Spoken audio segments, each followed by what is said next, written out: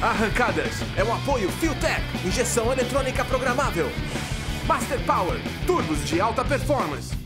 E Flash Power Energy Drink.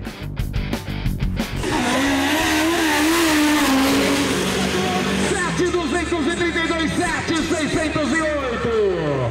É a terceira etapa do Campeonato ECPA de Arrancadas 2009. A etapa Master Power Turbo Turma Anguera Competições aqui em Piracicaba. Na pista distante, Alex Moreton, equipe Cadu Racing, o Turbo A com mais história no Brasil. Entrou pela primeira vez na casa dos 6 segundos e lidera o campeonato com 32 pontos. Tá aí o gol geração 4 de Alexandre Silva, o Xande da Espaço Motor, que venceu a etapa com um temporal de 6,871, novo recorde nos 201 metros. E nessa etapa, a Azul Linhas Aéreas Brasileiras premiou cada vencedor com uma passagem aérea para qualquer um de seus destinos no Brasil. Ricardo Tomás trouxe seu cadete vermelho invencível de Florianópolis e venceu a dianteira Super com 7,017. Sérgio Felipe, o gol mais rápido da categoria, ficou em segundo com 7,719. Cristiano Camargo, equipe Cotton Racing, estreou seu cadete com um ótimo tempo de 7,730. Sérgio Sapinho Ganga faturou mais uma na força livre dianteira, com 6,204.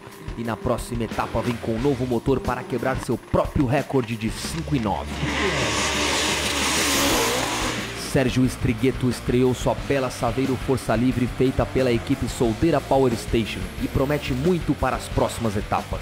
E na turbo traseira, Guilherme Emiliano trouxe seu Opala da equipe Yokohama de Curitiba pela primeira vez ao ECPA e garantiu a terceira colocação com 7 segundos ponto 277. Juliano Silva com o Opala da Flash Preparações correu em segundo lugar com um ótimo tempo de 7 segundos 020. No Fusca Branco, Luciano Pamanelli, equipe Sport System, ficou em quarto na etapa e está em segundo no campeonato. Em primeiro lugar está Luizinho de Souza, também da Sport System, que faturou a etapa e quebrou seu próprio recorde. Luiz de Souza, piloto do Fusca Street Turbo mais rápido do Brasil. Luizinho, acaba de baixar seu próprio recorde. Como é que foi essa puxada? Ah, a puxada foi gostosa. A gente já sabia que o carro ia dar uma empinada, mas não tanto. Eu não imaginei que eu ia virar o 6.7, mas com a tocada acho que foi legal. Consegui ainda baixar bastante o recorde. Seis cilindros contra V8 na traseira Super e Hot Rods. Melhor para o Opala de Fernando Leme nas duas categorias, seguido de perto pelo Dodge da Gêmeos Racing de Uberlândia. Para finalizar a terceira etapa do ECPA, o show do Opala V8 Blower de Adriano Duarte.